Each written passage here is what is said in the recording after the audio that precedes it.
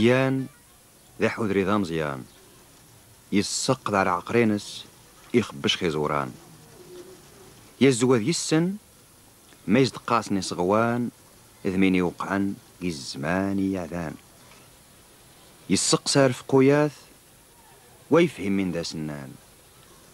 يسق ساغي محضان نانس الكتوب خوان. الكتوب الكتوب ذاك سنا فرانسيس دوليمان ذو قلينزي ذو ماريكان ذو التاريخ التجار ونقارون الزمان تاريخ إتاران يزيد سيوان ذمانا يقجان زيان ذوات تاريخ نيوران ويسي ولاخ عبد كريم لاخو نوار لاخ ظهر وفاران نان عاود نان زيان ويفهم نان يقيمي تاحي تاس دواتيك سي ومخانا واش ميداك ساسنان يقوى يتسقسا يوذان خمين يوقعن يزمان يادان جد السد جيداس نثنين حضان. يراح غاسني السقسان مين يعني عبد الكريم؟ مين يوقع ذو قنوار بالدهار وباران؟ السيور جيداس السيور جيداس يقنشيش نتنهزان. وضانا زديم الطاون أمد حبانا رمان غارد قسميات مساقان عبد الكريم أمينو عبد الكريم أمينو راي جاذب النعمان يرقحن ذقورة ونيوذان عبد الكريم أمينو راي جات تازيري دروستي يثران. عبد الكريم أمينو راي جادر عنصر ومان صفان.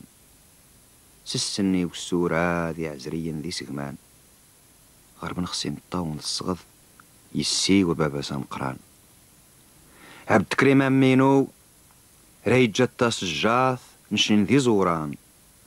عبد الكريم أمينو يراي جاد رفقي نشين ذي محضان. يصغار نغي بريذن يتاوين غادو ذات يخنان. عبد الكريم أمينو ويجي زير فقوياثو نقارون الزمان. إقوان خو عديس دورن ذي في غران. رعقر ذوك حبيذ ميزي غشان ذان. عبد الكريم أمينو يريت متاخر حقي مسعان. ذيك ورام خان ماني مجان. سيف جاحن في خدام ذي محضان. عبد الكريم أمينو ويجي تجار ونقارون الزمان كيجو فوسط الطفنا خذمي يجد القرآن. خورموز وغروم تقسسني ذوضان. تحواسن اللويز ذي غزران تحجان غاربي تباركان ديوسين ذوك ماريكان تزقن الدم من دومات سندر كيسان أماريكان ذو صهيون عريثن ذي ذوران. حبت كريم أمينو ويقبر ذا مواثن غطوضان. رعذاوة دي زوان أمان أسبانيو ذو فرانسيس ذو طليان. راح أمينو راح أمينو راح سقسي ثران راح أمينو راح سقسي ذورار سقسي غزران. نثنين أزرين شهد الحضان أنا عمر بن عبد السلام الخطابي ولدت على متن السفينة التي أقلت عائلتي من المغرب إلى المنشأ. إلى بالضبط جزيرة ريونيون التي تقع آه، جنوب شرقي مدغشقر. جزيرة صغيرة. ثلاثة رجال عبد السلام الخطابي محمد بن عبد الكريم الخطابي وثالثهم هو محمد عبد الكريم الخطابي. الخلية الأولى في قيادة ثورة الريف ومن ثلاثة كان محمد هو رمز الحركة التحريرية لحطمات كبرياء إسبانيا. كان الخطابي خلق هنا في أجدير في ألف و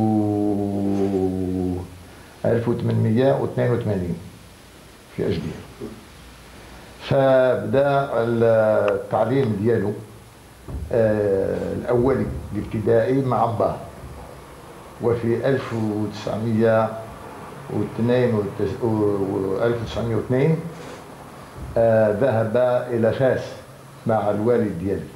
باش يقراو في جامعة القرويين في فاس. آه، بقاو هناك آه، عامين. بعد ما سلاو الدراسة ديالهم رجعوا إلى أجدير. وفي يعني رجعوا إلى أجدير في 1904 وفي 1906 سافر إلى ميليا ميليا فإن كان فهمتني معلم لأولاد الجالية المغربية في ميليا. ثم إذا كان قاضي في ميليانيت وأيضا كان كيحرر واحد مقالة باللغة العربية في الصفحة الأولى ديال واحد الجريدة اسبانيولية اسمها تليغراما دالريف يعني كان كيكتب كل نهار الصفحة الأولى ديال هذه الجريدة باللغة العربية من 1907 إلى 1900 1915 بداية القرن العشرين احتدت الأطماع الاستعمارية في المغرب وكانت فرنسا اعتمدت منذ سنوات أسلوب إغراق المغرب في الديون عبر السلطان عبد العزيز تمهيدا للحماية. فغضون 1906 انعقد في مدينة الخصيرس لإسبانيا مؤتمر استعماري حضرته 12 دولة استعمارية بالإضافة للمغرب. أهم ما اتفقت عليه البلدان المشاركة هو تقسيم المغرب لمنطقة فرنسية وأخرى إسبانية. أهل الريف قاوموا الإسبان وما تنظمت مقاومتهم إلا مع البطل محمد أمزيان. وكانت أشهر الملاحم اللي قادها الشريف أمزيان ضد الإسبان كانت ملحمة منطقة كيرت اللي شهدت في المجموع 113 معركة بعد ما حرقوا الإسبان مداشر قبيلة كبدانة وكان كيقرا أيضا الصحافة الإسبانيولية وكان كيحاور مع ذوك الناس اللي هم موظفين ديال الإسبانيوليين كيف كيحاور معاهم في السياسة الدولية في السياسة ديال أوروبا. يعني كان مطلع على آه، على جميع الشؤون اللي كانت كتجري في العالم. وبالخصوص الشؤون ديالنا الشؤون ديال المغرب والشؤون ديال الريف. والشؤون ديال الشرق العربي. كانت حصيلة معاهدة الجزيرة الخضراء 1906 توقيع معاهدة الحماية سنة 1912 واللي موجبها خدات إسبانيا الشمال المغرب 5% من التراب المغربي وانفردات فرنسا بالبقية اللي اعتبرتها آنذاك بالمغرب النافع. والسؤال شنو كانت نية عبد الكريم الخطابي إزاء الإسبان؟ وهو عبد الكريم الخطابي كان كيعتقد أن من الممكن يتواصلوا. فهمتني؟ لواحد الاتفاق واحد الاتفاق فهمتني؟ يتعاونوا مع بعض بدون مع بدون اغراض استعماريه ولكن فيما بعد بان له الخبث ديال إسبانيا بان له أن اسبانيا مثل الدول الأوروبية كانت عندها نوايا ديال الاستعمار بغات تستولي على على الريف بغات تستعمر الريف.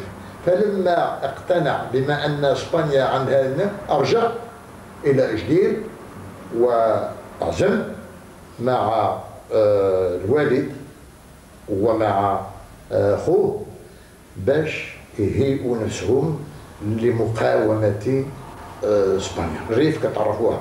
الحالة الاجتماعية ديالها والحالة الوضعية الاجتماعية والوضعية السياسية والوضعية الثقافية. ما نخبيش على أنفسنا أن في ذاك الوقت الريف كانت عنده واحد مستوى متوسط نقول لك بدائي يعني مبني على القبائل ومبني تطاحن بين القبائل على على أسباب تافهة.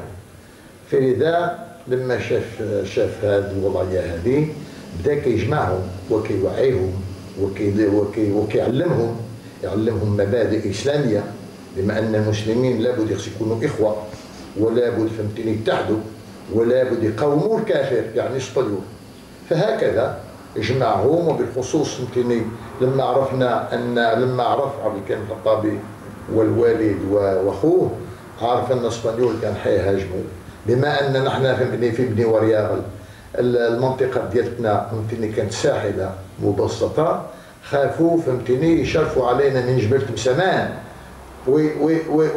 وينقضوا علينا. فلذلك هم سبقوه. مشاو لجبل تمسمان في جبل في ربع تروغود فهناك اسمه جبل قامة فهناك أفرض وجود ديالو هناك.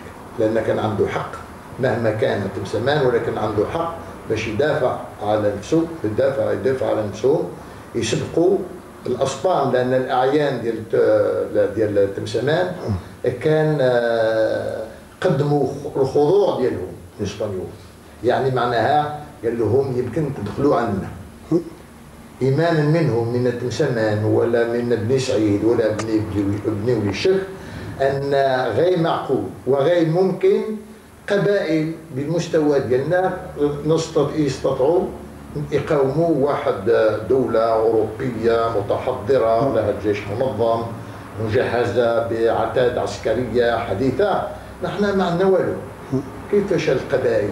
ولكن عبد الكريم الخطابي فهمتني قال ولو بهالوسائل بإيماننا وبوحدتنا وبعقيدتنا وبعزمنا نقدر نتصدى للعدو. هاد الناس هادو عندهم واحد عندهم واحد الميزة على على, على الجميع وهو أنهم ناس دينيين. هادو هادو قضاة ابا عن جد يعني كيعرفوا أن الإسلام لازم يكون العزة. ما يمكنش يكون يكون المسلم خاضع للأجنبي. هذه من ناحية عقائدية إسلامية. فأبوهم هذا عبد الحكيم هو الأول اللي بدا اللي بدا المعركة.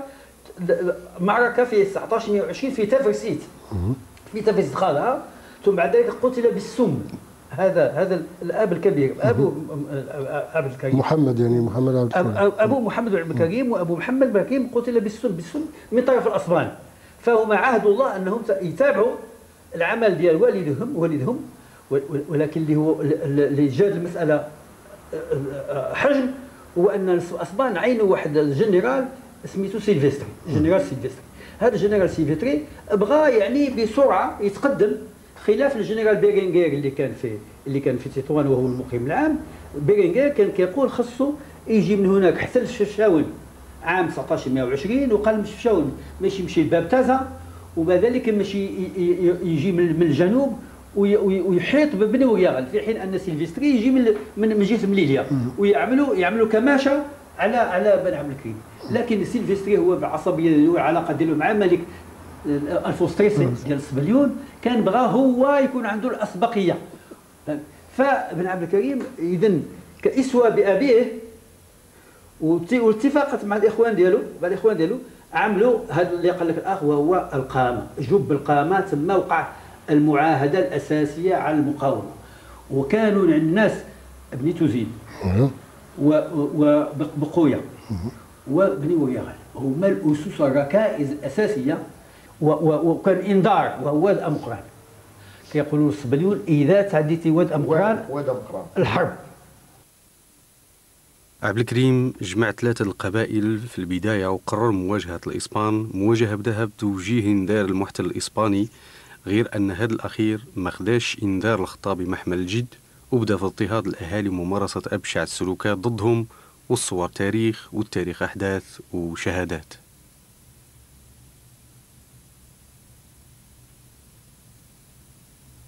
عبد الكريم ما كان أمامه إلا الدفاع وبدأت أول معركة في ظهر وباران فوقعت هذيك المعركة اللي قضي على الأصبان نهائيا في دار أوبران المعركة الأولى هي دار دار أوبران أول جوان 1921 هذاك هو الانطلاقة الانطلاقة يعني كانت عندها واحد الصدى قوي في الريف لأن الناس ما كانوش كيخيلوا بنفسهم أنه ممكن يتغلب هذا الجيش الجرار اللي ما يجيبه سيلفستري ولا عندهم 100 ولا أكثر من 100 مراكز منذ مليليا حتى حتى واد امقح في ذاك اليوم وذاك ذاك المكان بدأ ما يسمى بحرب الريف. وقعت واحد الصدى قداش حتى القبائل اللي كان سلمت. الإسبانيول بدات فهمتني حتى هي رفعت راسها. قال هذا الاسبانيول هذا يتغلب. غلبوه فهمتني؟ بداو حتى هما بداو كينوضوا وكيلتحقوا يلتحقوا بالمجاهدين. فلذلك علاش هذه المعركة ديال بران تعتبر يعني معركة أساسية مهمة. فتحت واحد الصفحة جديدة فهمتني في حرب الريف لما هذا هو ضرب ابران لما قاموا القبائل وبداوا يصيفطوا الناس المجاهدين يمكن بن عبد الكريم وأخوه محمد باش يمكن لهم يعملوا يحاصروا المناطق الأساسية ديال ديال انوال واغربا. هذاك الحصار هو لأن المعركة ديال انوال كانت وقعت في 21 جويي يعني الشهر و20 يوم من بعد نهار اوبران اذا هذاك المفعول النفسي هو اللي جعل القبائل تلتف ويجمعوا المجاهدين ويمكن لهم يكونوا يحاصروا القشرة الكبيرة ديال انوال واغربا بعد مرور أزيد من سبعين سنة ما تزال آثار الحرب موجودة مثل هذه الحفرة اللي سقطت فيها قنبلة غير أن المجاهدين اللي شاركوا في المقاومة توفاوا كلهم ما عدا القليل القليل مثل شعيب سي محمد نعري.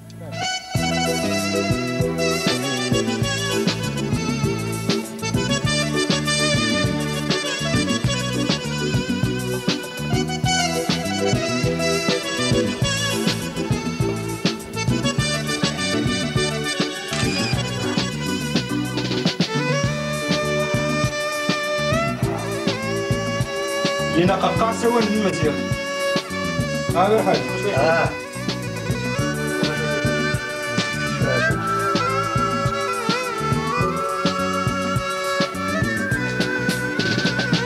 رشمة ودا خزيج فيها كيسينات يديروا فيها خطاس ياك خصيص ليش عنوان نهار مكتب ولا وين وين واسبانيول وخان بد فالبد نشين بد شين قال المحادث قد ظهرين من سمان ثقف قال وين أما هم يقدر يخضر يقدر يخضر ونبنو لو كان شلينا السنين شلينا راح نفعنا كل يجي يجمع من غيش. كل يجي يخدم غوش ديفيس ويخدم هذا انتقل المخزن ومن غيرنا حالنا كل يجي يجمع من الغيش وخيس وطن تا خوي قدمه خيس ودا علينا تا يكسنت تكمل نعم. زعما يجوا من يدان أم سمان ما؟ إيه. أم إيه؟ ومن يجمعني مشاهدا مونا نقاع سوق الخاص مولاي محمد مولاي محمد قرية الدار. يه نهار نيورا حلام تاعو تاركن ولي ديزوان تاركن في مم. ونديزوان واللي يفرفني ي- يجيش الظهر و- ولا ولا والغاية والرنيري يجا خمسة ستة يطوفن هذا نقع يا أخت ومية دغيز ومية الشيلاس نعم. يزواد مولاي محمد نعم. يزواد غانا مولاي محمد اثنين وخاي خدم أنا ورشي نضبط شي يدريس فيها وداي على أساس اني شي يدريس نعم يجمع نغسل نحا وان وان وما نحا وان وان خلا بس كيس على وان وان وان من يعمل تاغو سبانيو على وان نفرق يفاقر مولاي محمد قال مولاي محمد يكذب بعده ونخل الناس أساس اني الآن. ها نعم. أها. رحت فمي يسوق عودي يسوق عودي يسوق عودي يسوق ويبوي شيء. يدخل يحال يتغرب قاع مخززات وخي سبحت وليدي. سبحت وليدي آه، آه، بس- واسبانيا. لا. آه، يسبحت ولي مقرا من سد سيبستري ذا ها؟ يا علاش نوال عندها هذا الحجم وعنده هذا الصداع لأن هي كانت مقر لاركان الحرب. هي انوال اللي كان فيه جنرال سيلفستري نيت. جنرال سيلفستري نيت الكبير. راجل غرور فهمتني؟ في ذاك الوقت قالوا شنو عبد الكريم مقدار فهمتني ديال زدنا أنا كنقول لكم غدا في الساعة الخامسة سنشرب كاس د اتاي في دار ديال عبد الكريم الخطابي. بغى عبد الكريم الخطابي ولا عبد الكريم الخطابي ديال العالم كله.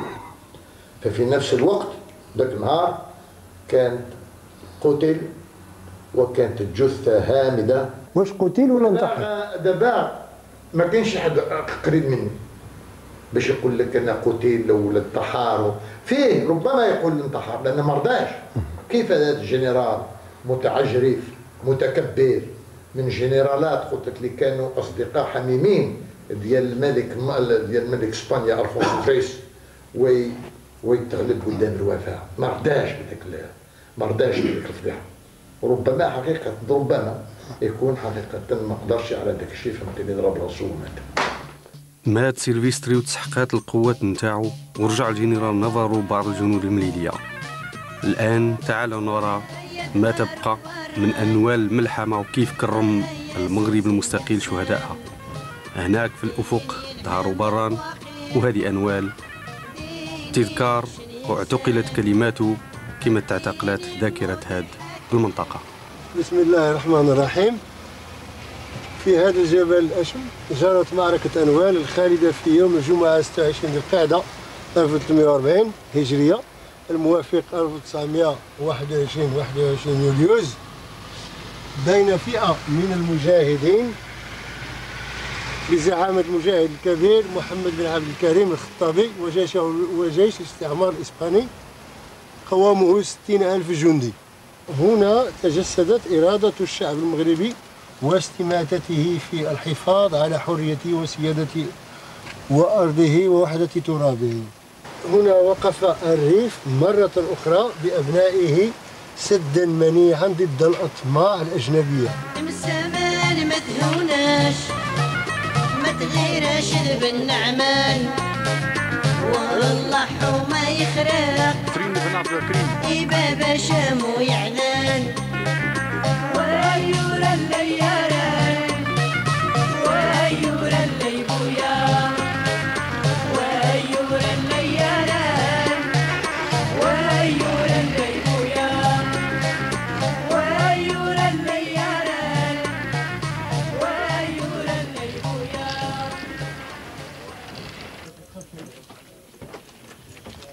الأحد 27 يوليوز 1998 الدكتور عمر الخطابي كيزور بمناسبة ذكرى معركة أنوال مع شخصيات محلية ووطنية مقبرة الشهداء في أجدير.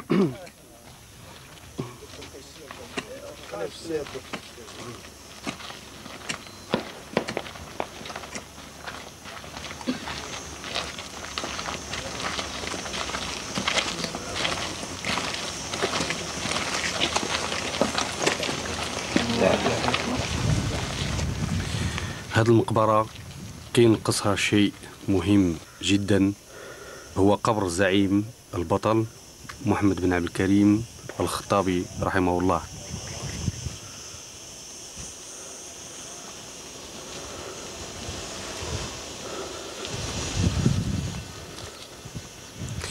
عائلة آل الخطابي دفنات في المقبرة كلها تقريبا لكن محمد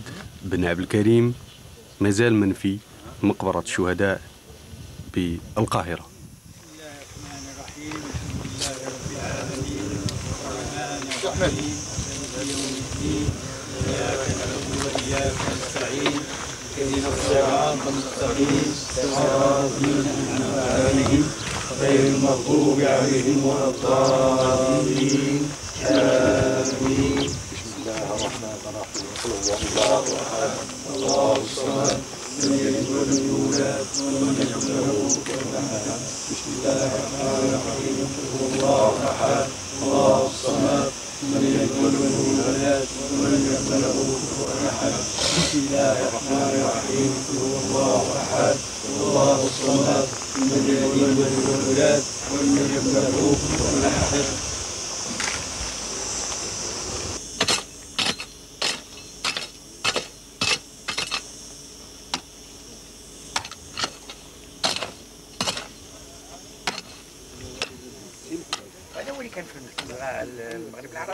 تجبر هنا 20 سنه حتى تفات 86 لا في سباس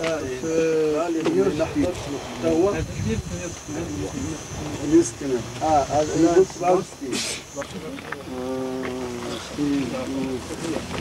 هذا ديال الامن محمد محمد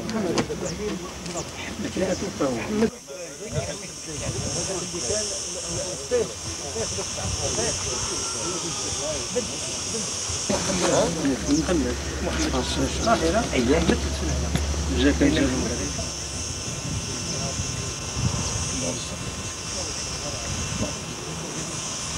اللهم اغفر لنا وارحمنا وارحمنا وارحمنا وارحمنا وارحمنا وارحمنا وارحمنا وارحمنا وارحمنا وارحمنا وارحمنا وارحمنا وارحمنا وارحمنا وارحمنا وارحمنا وارحمنا وارحمنا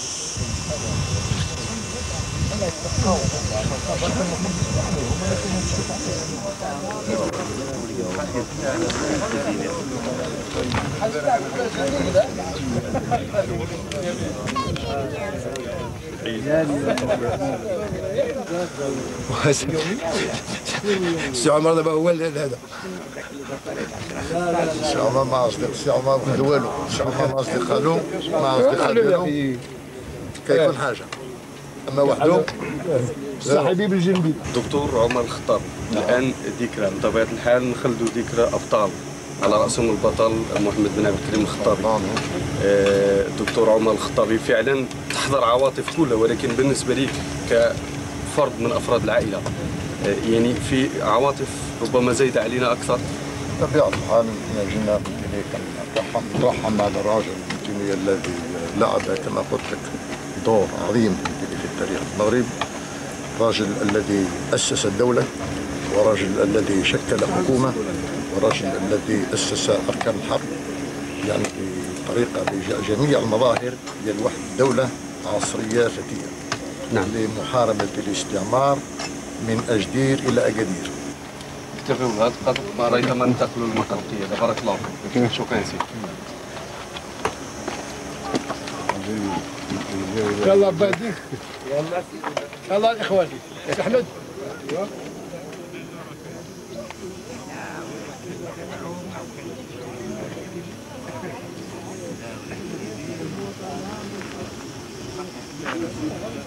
عبد الكريم الخطابي أسس دولة. علاش أسس دولة؟ لأن الظروف اللي اقتضت التأسيس ديال الدولة. علاش؟ لأن قبل كانت قبيلة صغيرة بنادم آه، عدد قليل.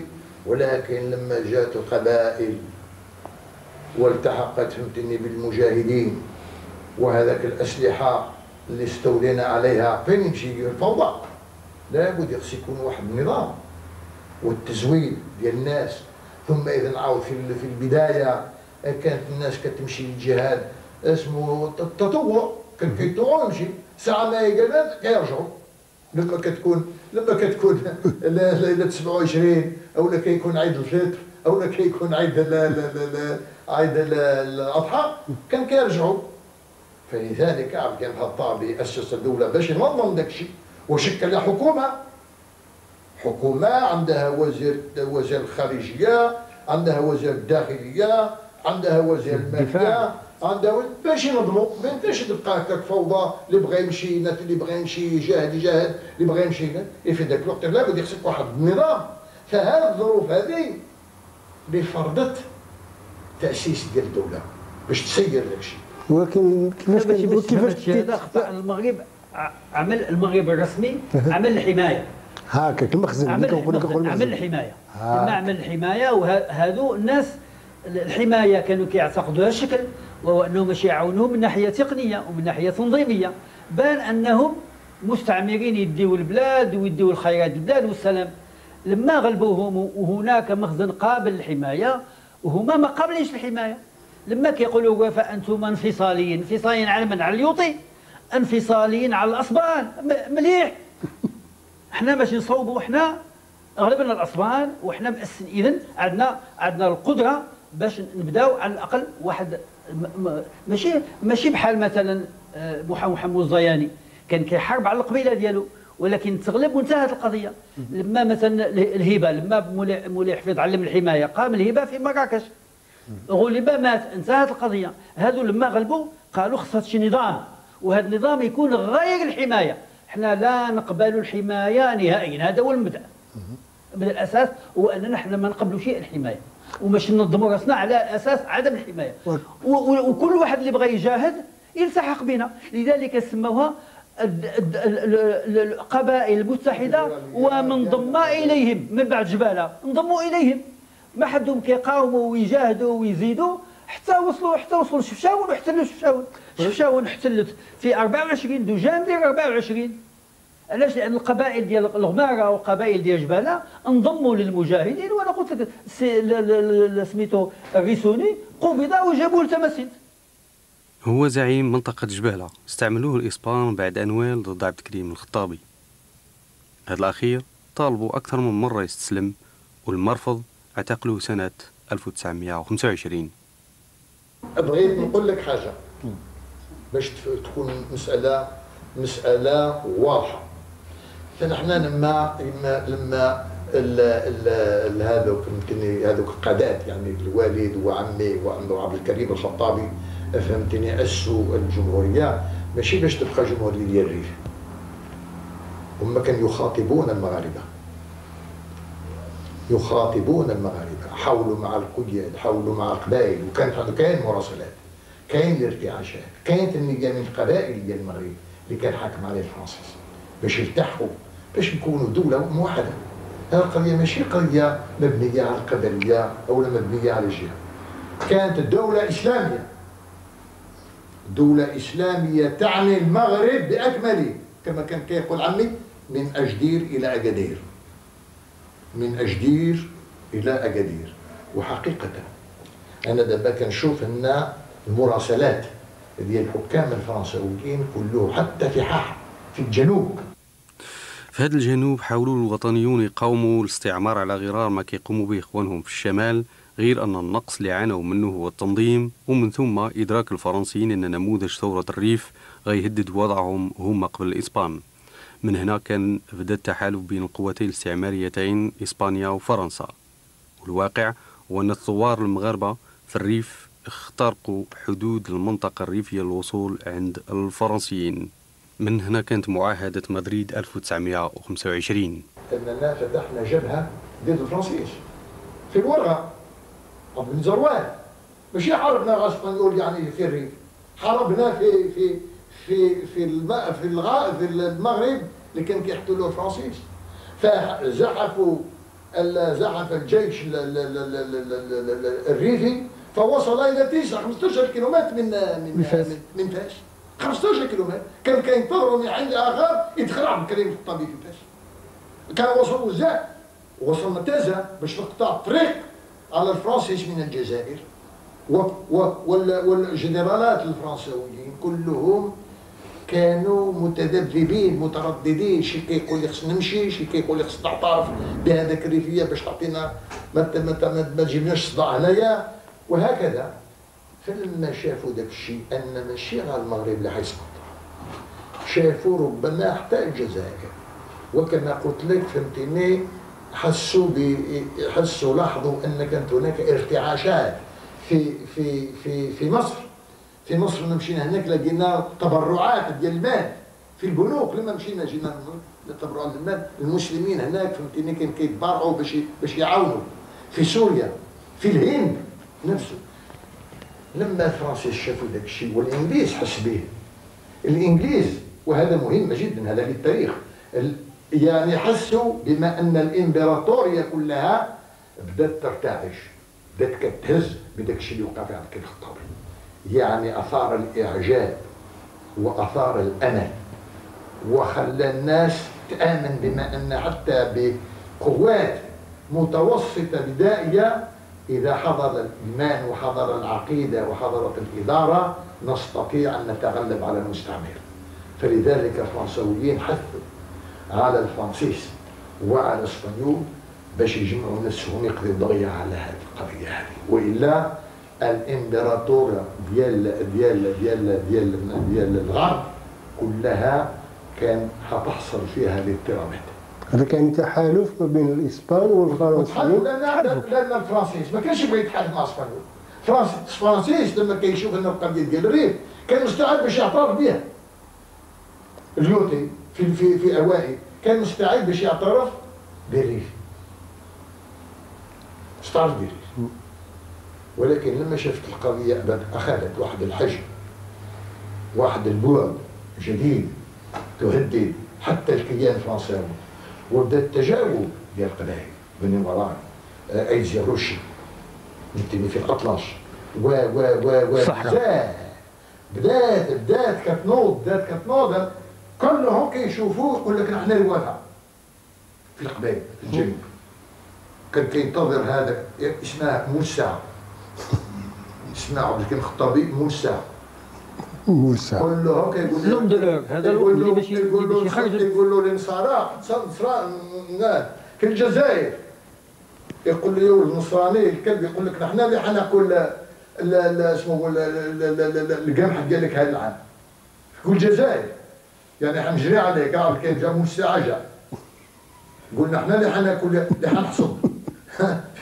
لا الصيف هذا هذا البعد ديالها. إذا عبد الكريم الخطابي حقيقة قاوم وقاوم في الظروف دقيقة. كيفاش قاوم هذاك الروافة باش يقاوم واحد الجيش أوروبي ينتمي إلى دولة منظمة دولة مت- متحضرة أوروبية. هذا حاجة وثم إذا هذاك المارشال ليوطي حيدوه. طلب. طلب. يعني الحكومة الفرنسية أصدرت أمر لإبعاد مارشال ليوطي وأعطاه المسؤولية لواحد مارشال اللي اللي كسب الحرب ضد الألمان مارشال بيتر. ما 14 كاينش شي مارشال في العالم. في العالم بأسره في ذاك الوقت كانت عنده ذاك السمعة بيتان بيتان بيتان مارشال بيتان جا هو يوتي هزوه مشى فرنسا ونقول لك باش تعرف الحجم ديال ديالنا في فرنسا كان أمامنا واحد الجيش ديال 700 ألف. 700 وي 700 ألف جندي. يقوده 45 جنرالات. 45 جنرال. نعم. جنرالات ديال فرنسا كلهم دازونا كلهم. 8 شتنبر 1925 الإنزال الإسباني بالحسيمة. إنزال معزز بالسفن والطائرات والمدافع في مواجهة بعض المجاهدين بالبنادق. قتولي شحال كاين تنظم شحال كاين بربحها عادي. إنتاج يسندها يسلمن زنزن سلمن أمكانها الخيانة. من يضرع مم. آه، ويتغرب ونتغرب حتى هو إذا غير هذا. من حيث يضرع ها من يضرع إذا ك- ما يبيا ما يزيو ستريما لا لا لا الحوشيمة يصابادية آه ها؟ إيه. آه يصابادية إيه يسمع بعدين إذا إيوا ما يضغى يضغى يمسك شين باروس شين ودين حدقة مع الشيخ أحمد. الشيء الحكومي شوي وخاور وميوشين يقوم قصتي فاقاتا ستين وقال ما ودن. خرم شيء جديد اتخيل اتخيل بلاد الزلف. بلد شيء ولاد القنفيذ اتعاد البراقي خلف ستين فاقاتا ما سبون ما ما ما عاون كيس حد ما هي واحد سن. آه؟ ما سباني واحد ما كيس شين شين معاونة. أكيس معاونة. خاطر ولد فنانة شيلة والسبي ما يغد لا وين يدار إلى الدار قادوني مسلمنا عاون في قاد ولا لا لا لا جنجي لا لا أجنجي عاوني غير وقت إني شي نهار هاجني ما والو. وشاغ وفاء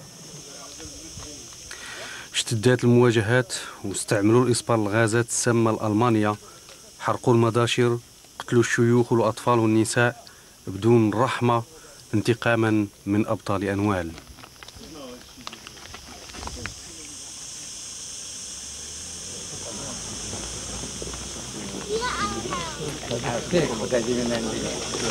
Un pays dont les ruines tombent en ruine est une ruine.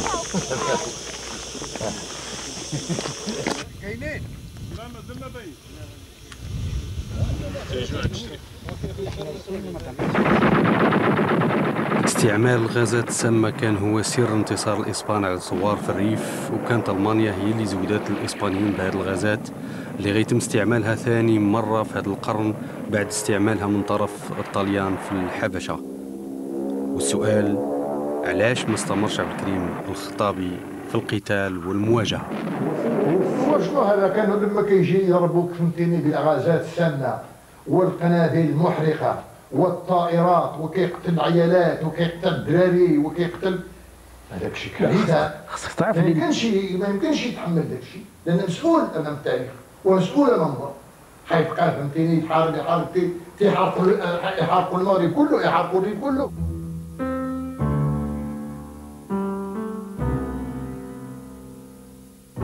شجاعته وشعوره بالمسؤولية نحو الشعب هو اللي خلى عبد الكريم الخطابي يستسلم. في 6 ماي 6 ماي 26 1926 1926 نعم. من ثم أخذوه من من تهديد ثم أخذوه إلى تازا ومن تازا إلى إلى فاس. فاس ومن فاس إلى الدار البيضاء ومن الدار البيضاء إلى مارسيليا. إلى مارسيليا ومارسيليا إلى إلى إلى إلى إلى لورينيون ابعد ابعد آه، مست- مستعمرة- فرنسوية. في المحيط الهندي هي كانت الريونيون وهذا استسلم للفرنسيس وما استسلمش للاسبان آه هذا نقطة مهمة لأن اللي دارنا مع اسبانيول. ما اعتقدش ان اسبانيول لو كان شدونا كان كان كان كان كان يعتقلون. كان بلا شك حيعتقلوش الرجال والعيالات. هما كان كيقولوها فلذلك فضلنا لنا اسبانيول بدينا نتحارب معهم من قديم الزمن وهم هنايا. عرفونا أما الفرنسيس عاد من الجنوب هذا عملنا الحرب وله حقيقة تنتهوا ما عملنا فيهم عملنا فيهم فهمتني نسقة شخشوخة البيبان شخشوخة تعرف شخشوخة عملنا فيهم شخشوخة ولكن مع ذلك كان أقل من إسبانيا. فلذلك حبينا فضلنا الفرنسيس بدل قد تستلم تستلم بعد الاستسلام نقل البطل مع عائلته لجزيرة لا ريونيون. فين بقى 21 سنة لغاية 1947 وفي 1947 الفرنساويين ربما كانت عندهم نية أو ذكيات قال لهم سننتقلهم من الجزيرة إلى جنوب فرنسا. كان هيئونا هناك واحد القصار فهمتني في نيس باش باش نقيم هناك. ولكن لما وصلنا إلى عدن قبل ما ندخل في البحر في البحر الأحمر عدن تقلبت لأن المسلمين هناك اليمنيين اليمنيين تقلبوا. باش نقول لك الصدى ديال عبد الكريم الخطابي. السمعة اللي كانت عنده. ماشي غير هنا. السمعة اللي حتى في عدن. تقلبت الدنيا هناك بالطوم أكثر من 500 طوموبيل جاوا يستقبلونا واحتفلوا بنا. وهناك أبرقوا عملوا تلغراف للجامعة العربية قالوا ها عبد الكريم الخطابي والعائلة ديالو فهمتني علمتني الطائرة علمتني السفينة الفلانية حيدخل البحر المتوسط وثم البحر الأحمر ثم إذا السويس فلذلك فأنا كطلبكم مادام حيدوزوا قناة السويس من سويس إلى بورسعيد هي داخلة في مصر تعملوا ما في وسعكم باش تعطيوا اللجوء السياسي ما يمشيش لفرنسا فلما وصلنا للسويس آه، طلعوا ل- ل- ل- ل- ل- للباخرة آه، بورقيبة على الفاسي طريش والجزائريين اللي كانوا مسؤولين عن حركة التحرير هناك كلهم جاوا باش يسلموا باش يقدموا آه، تحيات ديالهم واحترام ديالهم لعبد الكريم الخطابي وثم إذا جاء الممثل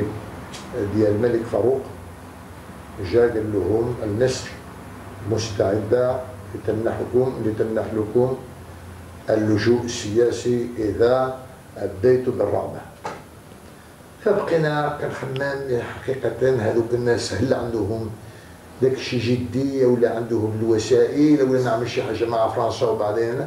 ولكن في الاخير قرروا بما حنا ننزل في بورسعيد. هذا دابا جينا من سويس. سويس تا بورسعيد 150 كيلومتر. هذا في التراب. قناه قناة سويس. أنتم قناة سويس. وأنتم في 21 سنة من عمركم. هيا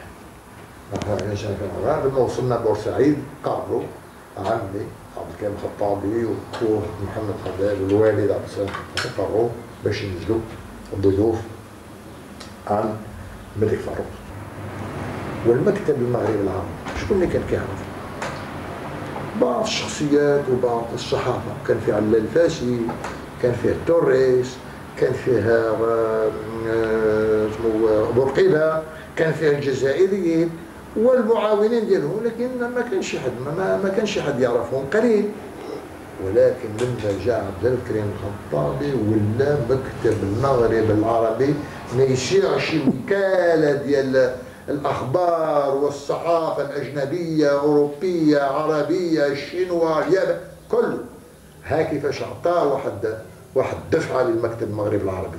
ها كيفاش عطى الدفعه فهمتني للقضيه ديال المغرب العربي.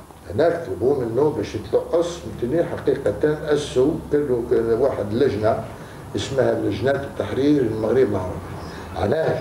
لأن علي كان الخطاب كان ينظر إلى مسألة ديال الشمال الافريقيه ما كانش كيميز بين المغرب ولا تونس ولا الجزائر. كان مغاربي يقول لك مغاربي المسلمين كلهم يقول لك نحن ما نبقاش نعمل فرق بيناتهم.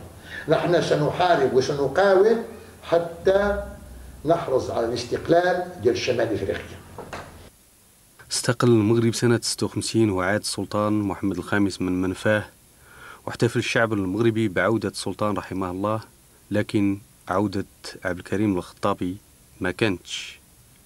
والسؤال دائما لماذا لم يعد عبد الكريم؟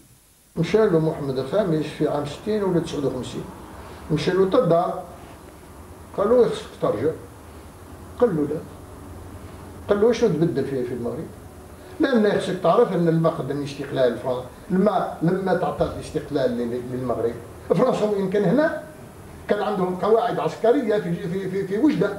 كان عندهم قواعد عسكرية قواعد ديال الطيران سلاح طيران كانت قاعدة في في في في في في في في, في, في وجده كانت قاعدة في مكناس وكانت قاعدة في سلا وما زال فهمتني كان قوا كان كان كان القوات الفرنسيه موجوده هناك ومن هنا كان كيقنبلوا يقنبلوا الجزائر من وجده اي وفين؟ ويجي عمي فهمتني بعد 21 عام يشوف فرنساويين كي- كيطيروا بالط- بالطائرات ديالهم يمشي يقنبلوا الخ- خدنا الجزائريين هذا ماشي معقول ماشي معقول. هذا حاجة. حاجة الثانية حقيقة كان المغرب خص يتحرر. يتحرر حقيقة. والشعب حقيقة الشعب المغربي يأخذ المصير ديالو بايديه وتكون انتخابات حرة وتكون الإرادة الشعبية فهمتني هي اللي تتحكم في مصيرنا. مش عاوتاني يجي يكبتوا علينا فهمتني عاوتاني كان شي حاجة ما كان. المغرب هذاك ال- الحرية الحقيقية. ماشي تبدل تبدل فهمتني تبدل القبعة الشابو وتعمل لها طربوش أو العمامة. أنا ما بغيتش العبوديه ابدا ما بغيتش نكون بغيت نكون حر. بغيت نقدر نتكلم. بغيت نقدر نتبادل. بغيت نجتمع. بغيت نكتب داك الشيء اللي قال لي راسي. أنا أنا جيش- شفت أنا, جيش. أنا شفت محمد محمد الخامس. أنا جيت هنا قبل ما يجي عمي أنا جيت في 58 وشفت محمد الخامس شي ثلاث خطرات وكل ما نمشي له كيقول لي نفس الشيء. كنقول له صاحب جلاله انت كتعرف عمي مشى؟ فهمتني هو حارب. هذاك الرجل ديال الحرب. حارب الفرنساويين وحارب وحارب نصارى اللي باش يعيشوا المغاربه حرة. بعد 32 سنة عاد ريف الفرص الضائعة من جديد باش يكون في أواخر 58 مسرح أحداث دامية خذات بعد الدولي. مرة أخرى دخلت الطائرات والمدافع لسحق ثورة مفروضة زعمها محمد سلامة مزيان المعروف بميسر حاج سلام. كان عبد الكريم يساند ويساعد من منفاه ثوار 58 على الرغم من أن الإدارة الرسمية كانت في وجود أي علاقة بالأسد وأشباله. في القاهرة استقبل وحتاضن بن عبد الكريم زعيم حركة 58 ورعاه في بيته إلى أن مات رحمه الله. وهذا هو قبر بن عبد الكريم في القاهرة.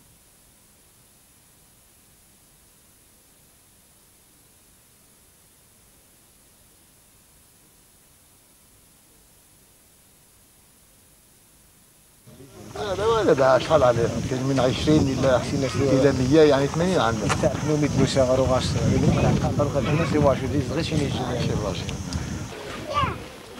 وهذا ما تبقى من مقر قيادة الثورة في أجدير؟ مقر صبح كما كتشوفوا معلمة تاريخية. رممها وصلحها مغرب الاستقلال إكراما للي كان في هذا المقر يدافع عن الاستقلال. العائله ديال اللي ساكنين هنا عارفين ديال من هذه وشنو التاريخ ديالها ولا؟ شارك أنا هادي عام فاس كنت صافي. عام كاينين الناس هنا قداش؟ جابوك لهنا حطوك. جيت لهنايا لقيت دويره خاويه سكنت فيها. هذه تسميها دويره هذه. تاريخ هذا. لا لا لا باغي نقول حتى السكنة ديالكم ماشي كيفاش؟ بحال مش- ماشي شي حاجة مزيانة بزاف ولا شنو حطوكم. بالنسبة لنا حنايا دابا لقينا هذه الحمد لله ونشكر لا واه ما تبغيش احسن ايوا بطبيعة الحال غنبغيو احسن ما هذه اللي لقينا هذه الساعة هنا. وما دامش لكم ديال مان وشنو التاريخ ديالها.